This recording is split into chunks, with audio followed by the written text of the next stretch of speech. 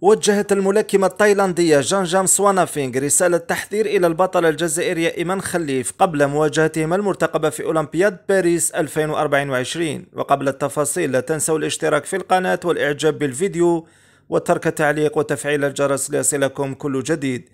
إذا تلتقي إيمان خليف مع منافستها التايلاندية في نصف نهائي منافسات الملاكمة.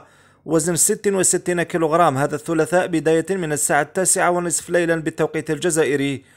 وقبل هذه المواجهة صرحت الملاكمة التايلاندية وهي في نفس الوقت مجندة في القوات الجوية التايلاندية برتبة رقيب وتدرس في السنة الرابعة بالجامعة الرياضية الوطنية.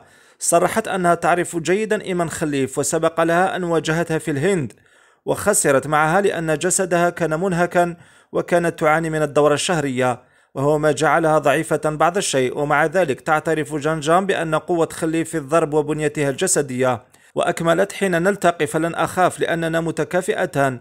لقد أعددت جسدي جيدا لمواجهتها وتدربت كثيرا وبغض النظر عن أي شيء فنحن بشر وكل منا لديه قبضة يد. ما رأيكم فيما قالته التايلاندية منافسة إيمان خليف؟ وكيف ترون المواجهة؟ شاركونا في التعليقات ولا تنسوا الاشتراك في القناة ليصلكم كل جديد.